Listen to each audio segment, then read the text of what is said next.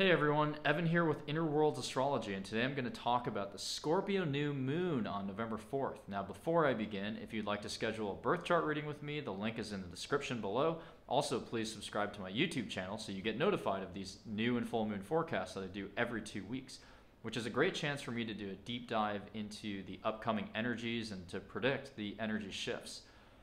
Now, this new moon in particular is very significant because it's really one of our first previews of what's coming next year. Uh, this is because we have the north and south nodes slowly shifting from Gemini Sagittarius into the Scorpio Taurus axis. And because this new moon is in Scorpio and it's directly opposite Uranus and Taurus, it's going to activate some of those energies that are really going to shape 2022. Uh, so I have a couple, you know, uh, key observations to go through. Number one, the new moon is at 12 degrees of Scorpio, and it's conjunct the sun, as is every new moon. But what's really significant about this is that Uranus is also at 12 degrees, but of Taurus. So this is a really tight opposition. So it's something we need to pay attention to right away. Now, Uranus has been in Taurus for a while, and Uranus really represents sudden changes, sudden shocks, uh, sudden insights, uh, creativity, shaking up the systems. And so, when you're, since Uranus has been in Taurus, we've seen a lot of instability with our value systems, our sense, our sense of material stability, uh, you know, even our, you know, financial systems, our currencies you know, we've seen a lot of interest in things like cryptocurrencies, what's going on with the dollar. And finally, maybe the most significant part of Uranus and Taurus is the supply chain. We've had a very, very, very uh, unstable supply chain. Uh, there have been times when, of course, there's been panic buying and we can't get things, but also just logistically, there's been breakdowns. And so, with this new moon, a lot of these cracks in the system are going to be highlighted. Um, and when we think about the signs of Scorpio and Taurus more broadly, these signs are about resources to some degree. That's something they share in common. These can be personal resources, shared resources. Uh, it can be about financial systems. It can be about survival. And, you know, it's also about the money we see and the money we don't see. So the money we have in our own pockets and the money that the people in power have, which we don't see of course. And again, this is a preview of the North Node, South Node switch to the Scorpio Taurus axis in 2022. The focus next year is very much going to be on our financial system.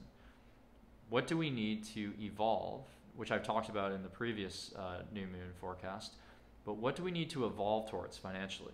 How can we create a society that uh, brings that stability for everyone, not just a few people at the top?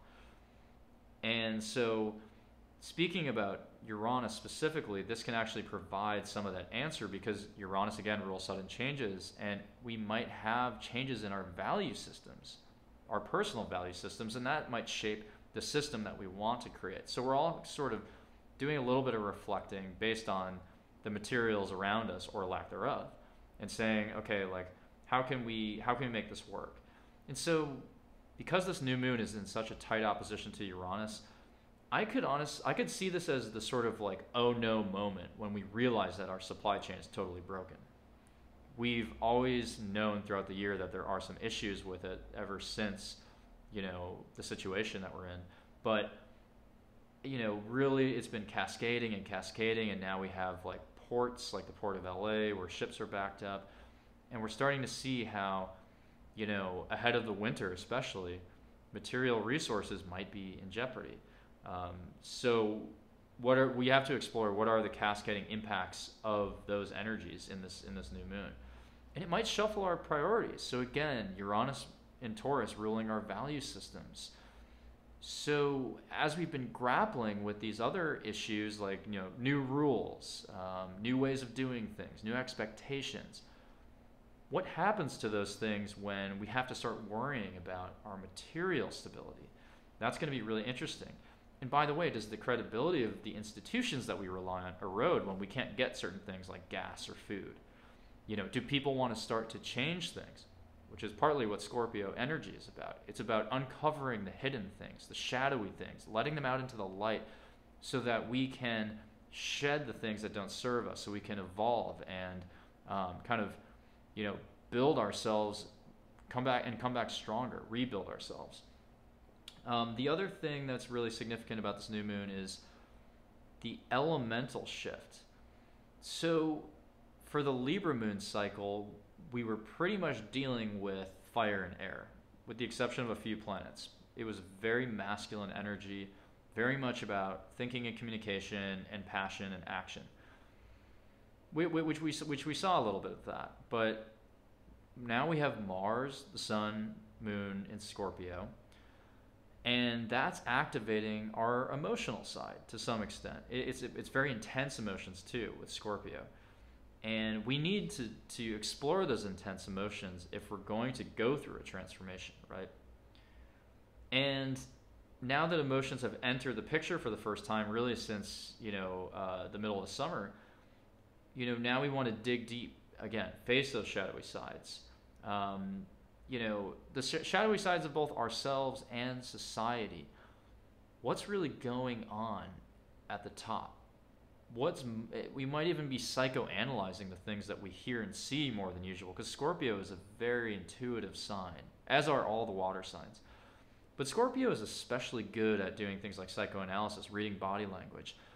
And so all of us on a subconscious level might be doing that as we watch television or as we watch people, you know, speak to us you know, looking at the body language to say, ask ourselves, why did they say that? Not just what they said. Scorpio is, you know, amazing at that.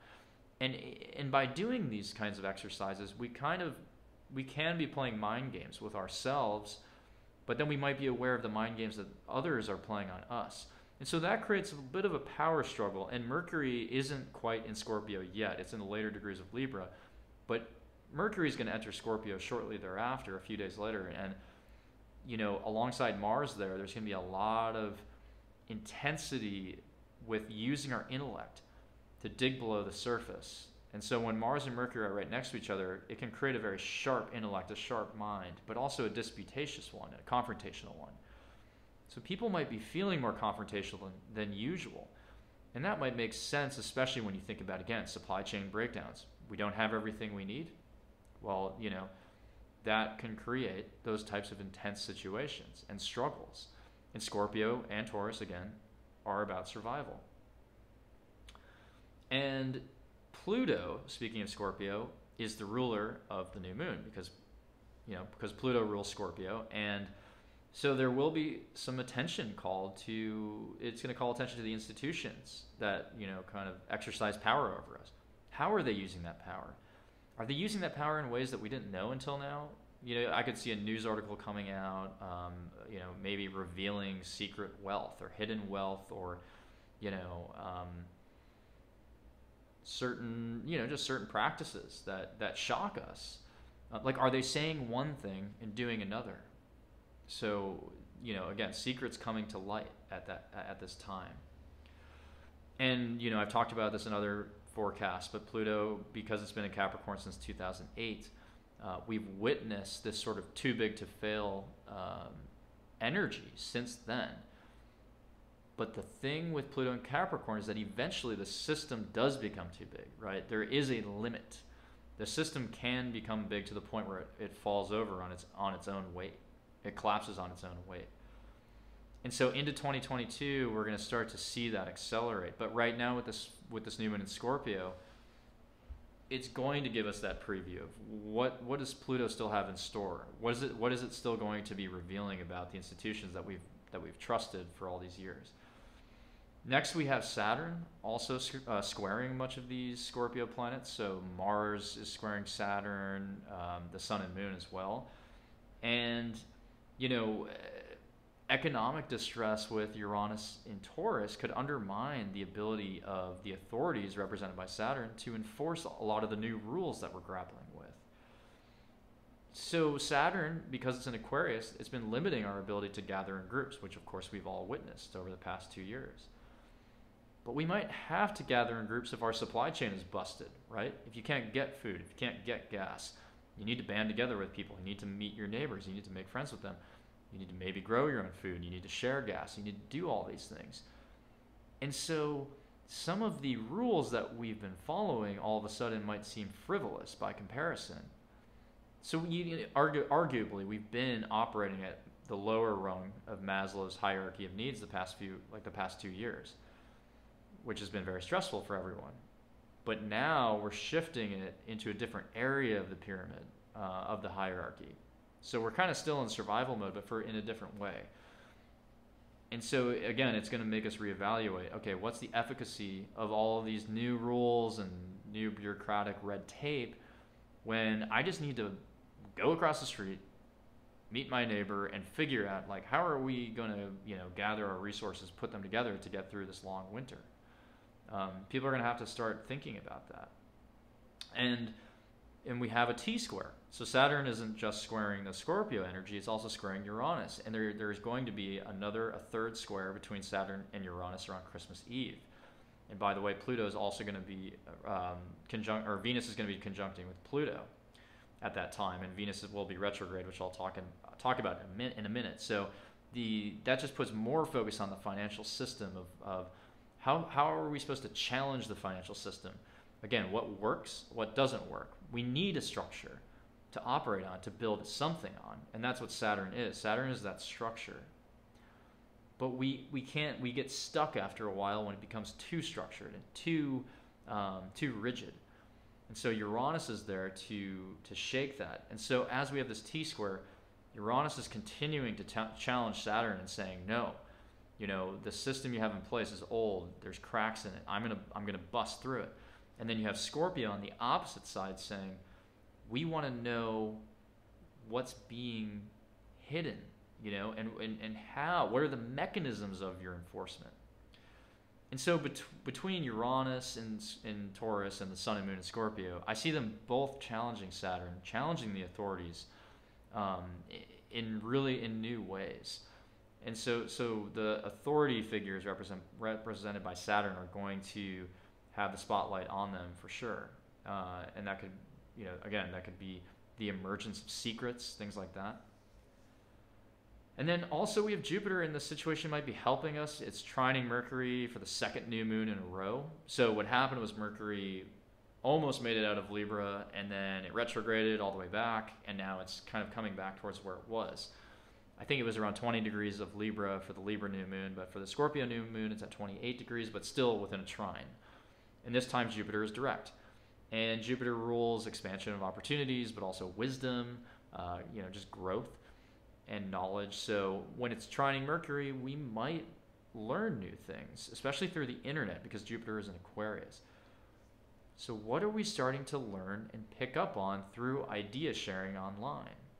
So, again, this is where I think about articles coming out. What, what type of article might come out around this time that sheds light on the, you know, the potential secrets or things that have been hidden from us. Uh, so, so that could really activate even more some of that Scorpio energy. Because Jupiter is very di- is a different energy than Scorpio, because Jupiter rules Sagittarius. But these two signs still have some synergy in the sense that Scorpio wants to dig below the surface to find things, and then you have to do that of, first to gain that higher wisdom. But in this case, it might be the reverse, where Jupiter is helping to give us a gift, uh, you know, through some type of new piece of information, handing that over to Mercury, which rules the mind. And all of a sudden, we're like, oh my God, all, I, I didn't know that before. And then we start to make all the connections. And, and with Mars and Scorpio, by the way, it's just relentless. You know, so Mars is the original ruler of Scorpio before Pluto came along, or before Pluto was discovered. And you know, Mars and Scorpio is like a drill. It's going to get below the surface. It's going to find something. And in a way, it can be fixated on and, and, and too determined to find something. So sometimes Scorpio is paranoid and it, it, it feels things that aren't really there. So we have to be careful of that as well. We can't just say, I'm going to find a secret, therefore a secret a secret's been found. Sometimes secrets need to be part of an ebb and flow. There has to be an authenticity to it, right? And, you know, because this is a global event, global transit that we're all going through, my assumption is that, you know, people will be able to find the secrets that really matter and that are grounded in some type of truth. And, you know, another thing, I wanted to talk really quickly about the numerology of this. So it's not an accident, in my opinion, that we're dealing with November 4th. The number four is very significant in this case. So, number one, point number one, fourth sign is Cancer. And when we're talking about cancer in a mundane sense, in a global sense, we're talking about things like real estate, housing. And it's also calling attention to the squares because there are four sides in a square. So I'm thinking about this as a this new moon is a preview of again the Saturn Uranus square that's going to happen on Christmas Eve. And it's possible that with all this kind of put together, it's possible that our sense of stability, not just with the supply chain and materials, but with our housing system is shaken. What type of real estate could be impacted during this time? Um, you know, does any of that become less valuable, or or is it taken over by a different institution? Do we feel like we have less control over our, our assets? And I feel like that could really happen because Venus has been in Sagittarius for a while, and that's put a focus on the inflation of the dollar because Venus represents currencies, and Sagittarius is expansion. So naturally, we've had the inflation of the dollar become a problem, or it's been the focus now. But you know, um, that's gonna that could feed into the housing system, right? In the sense that if the inflation gets out of control, let's say your house is five hundred thousand dollars, but a loaf of bread costs thirty dollars what are the you know connecting threads of that? What are the cascading impacts? We're going to have to work that out. And also venus uh, i think a day or two after this new moon is going to enter capricorn which is where it's going to be on christmas eve. Retrograding conjunct to pluto. So again it feels like the now that the end of the year is within reach and the first quarter of 2022 is within reach which is when america is going to have its pluto return it just feels like this is the beginning of starting to discover like the true cracks in the system. When you know anyone and everyone not just people like me or an economist people who you know spend literally like hours a day trying to research things and forecast things but just anyone this might be the time when pretty much anyone and everyone says oh no i'm going to have to start thinking differently about again how am I going to get gas? How I'm going to how how will I get food? And this is just going to have a, a ripple effect where again the rules that we've been waiting for and and abiding by suddenly become a moot point. Um, and again, during this time, we have Jupiter trining Mercury, which might help with this to some extent. So there's a there's an, a sense of like gaining knowledge. Gaining knowledge, and it, it can be very fast because Aquarius is ruled by Uranus. Uranus changes very rapidly, and it changes when we least expect it. So there's something unexpected as well about this new moon. And you know the the other piece is that the north and south node are in the final those first two degrees of, of gemini and sagittarius before they start to shift into uh, taurus and scorpio. So what that means is we've intensified this gemini energy and the sag energy at the same time. So with gemini we're increasingly focused on the two sides of everything. But we're also taking a self-righteous position on, on what we think is the best side or the correct side or the right side with sagittarius so this creates a really toxic environment. Because again, we're dealing with material insecurity with Uranus and Taurus. And we're dealing with the revelation, probably, the revelation of certain secrets from up high, from institutions that make us distrust them. We don't trust the supply chain. We don't trust the institutions. We don't even trust our grocery stores. Where does that leave us? At this you know it leaves us in a very survivalist position. But somehow at the same time we might rather get on a pedestal and prove a point. And so i see this as a situation where we lack resources. We're literally worried about what are we going to do next week? And yet we don't want help from our neighbor because they believe in something else. They believe a completely different thing politically than we do. That's the strangeness, the extreme strangeness of the world we live in right now. And so, my advice to, to everyone watching is you're going to have to just abandon the self righteousness. I know we all have our favorite sides of an argument, but you got to realize like Maslow's hierarchy of needs was not created in a vacuum. Right? It's based on real life and how humans work. And again, if we're worried about what we're going to eat next week, you just have to drop everything else. And I'm not saying that that maybe that won't be difficult for some people, but just given how strange social media is, you have to be careful about getting sucked into something or a distraction that just polarizes you even more. So, so I think that's the word I'm looking for there is like polarization. We still live in a, a time of extreme polarization, but things like this, crises like what we're dealing with now or about to deal with financially, they're going to bring some really different people together. Like, oh, you know, my neighbor and I never got along, but now, you know, he's had to help me start my car. And so I'm seeing the human in him. And so during this time, we might see each other as more human.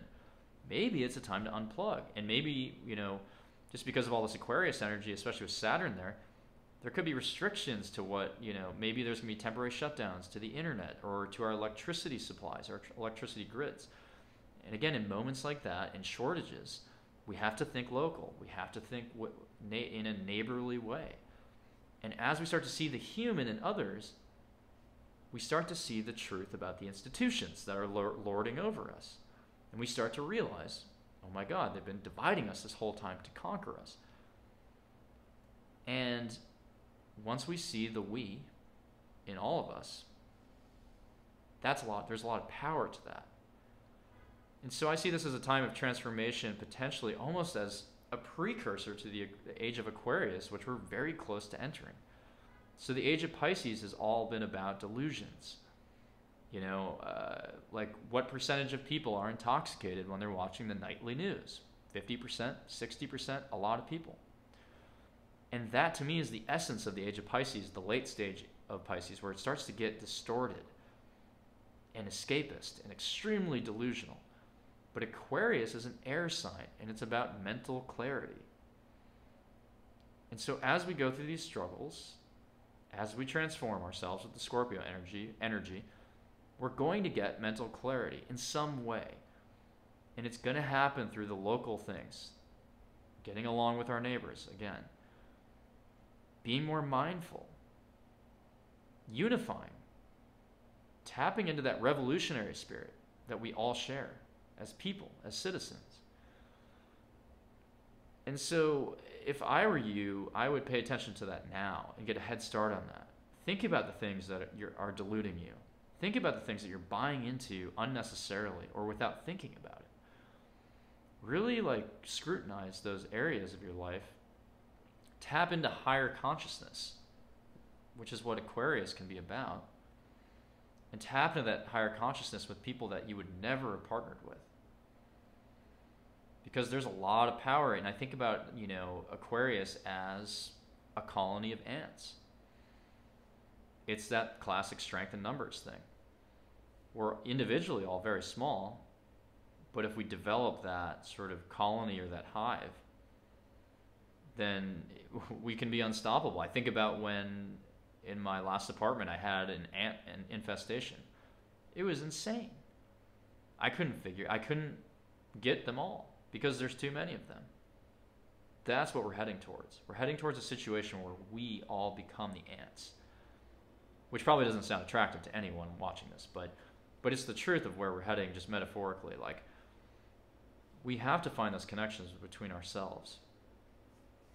And the last thing I wanted to bring up is the actual dollar, the American dollar, and the state of our currencies.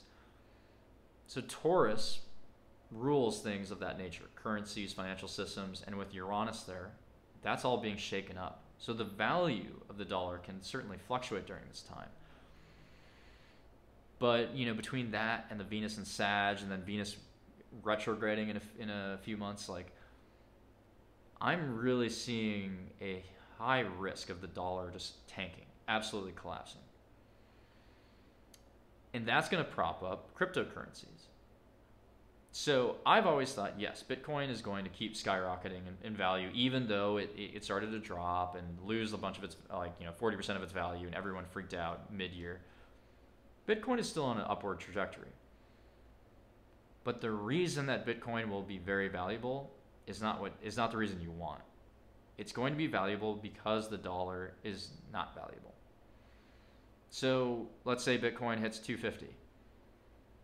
Uh, if you converted that to dollars once it hits 250, that's going to buy you like, you know, not that much once the dollar once the inflation goes out of control, right? Like you might be able to you're not going to be able to buy a car with that money. I mean, that's possible at least. But my, you know, my def my recommendation would be you have you have to think about alternative value systems. And I'm not here to recommend a specific product. That's not my job. I'm an astrologer. But what I'm saying is the energies are pretty clear that our currency system is in a lot of trouble in, in, a, in a way that it never has been in our country's history. And so you have to really think what are the hard assets that I can get behind? What are the alternative digital assets that I can get behind? What are things that are going to have transfer of value in other markets, other countries? That's going to be really significant um, because it's too much of a coincidence. It, it, it's it's too close of a coincidence that Venus is retrograding, conjuncting Pluto, pretty much I think the same day that Uranus does the third square with Saturn. That just screams to me a total shakedown of our financial system. Everything that we've put our trust in, implicitly or explicitly, is going to be called into question. And that combined with the supply chain, with a struggle to find workers, with you know all of these factors, it's really going to test the dollar. And if you think about the dollar as you, it's pervasive. It's almost what defines everything in our society. You could argue it is it, it, it is the water that's coursing through and permeating everything. And so when and, and it's almost the ultimate sign of trust. So when that trust is no longer there, it flips the script completely, and everything else becomes a, like a fair game to be questioned. So just be ready for that, um, especially with the 2022 energies of the Pluto return, which I'll talk about more in future videos but I, I, I think the the likelihood of a Christmas Eve crash is very high. But the the efficacy of that hypothesis is going to be clearer to me on this new moon. Things that happen on this new moon in particular are going to kind of give some breadcrumbs as to what might happen around Christmas Eve. So, you know, think about there's only six weeks or so, so between this new moon and, and Christmas Eve. Uh, you know, and so if the instability starts to really show around this new moon, then my, I think that hypothesis can, is going to be validated. Um, you know, and again, because we're going to have Venus in Capricorn very shortly thereafter, which is the sign it's going to be in for that huge moment on Christmas Eve. And, and, and by the way, Venus in Capricorn rules is going to add some financial flavor to that Capricorn energy. So we're going to be talking about not just your finances and my finances, but everyone's finances. What are the where's the hub? You know, what is that what are those frameworks, those financial frameworks that we all rely on? What are those network effects? And again, if the money is if the inflation is out of control and the and the value of the dollar is like whatever, the impacts are going to be so swift because it is so ubiquitous, because these systems are so centralized. And that's the final point I was, I, I was trying to make. We're living in an age of centralization, extreme centralization. Everything we do, every decision we make, every thought we have, is coming from a few very, very, very large networks of either platforms or government institutions or news networks everything is centralized. yeah, people say the internet is fragmented, but that's not really what's going on. It's almost like that people say that we're siloed as a way to justify this whole thing of like we're different, we're divided, there's just a, a left and a right. It's not really true. Truth is, we're all being diluted by just a few very large institutions. And through this evolution and this destruction and this change and this instability, we have a chance amid this chaos to decentralize things in a, in a, in a healthy and positive way.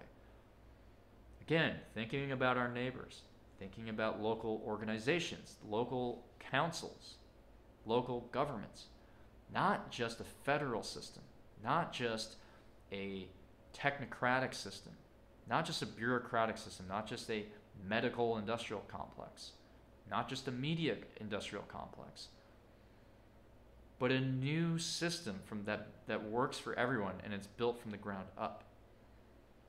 So I see this new moon all the way through early 2022 as a a beautiful destruction, a healthy destruction. It is the breakdown before the breakthrough. And the breakthrough is a moment of clarity. And air signs, like Aquarius, deal with clarity. Clarity is what we need to evolve towards as we start to become citizens of the age of Aquarius. And so pay attention to the things that the, the intuition, the insights that you're getting. Go outside, take your shoes off, put them on the ground, actually feel the earth, unplug from the delusional systems, the delusional networks. Practice mindfulness. Do something to get yourself out of the muck. Because we've spent so long being told what to do, how to act, what to say, who to say it to. Literally, like the inflection points of how we say it, everything is scrutinized. And that's a system of control. We are being controlled at all times. And with this Scorpio energy, we can see through that BS. Scorpio just pierces through the veil. And so, pierce through that veil and come out with the utmost mental clarity, like a bird in flight over that mountain. If you can do that, then you're going to be ready for the next six months. So that was uh, hopefully that was hopefully that was insightful and, and, and fun. I feel like I was in a like a, a trance there. Um, but I'm to be doing uh, the full moon in Taurus, which is also to be very significant. And um, yeah, just uh, keep following along, and um, I'll talk to you all soon. Have a good night.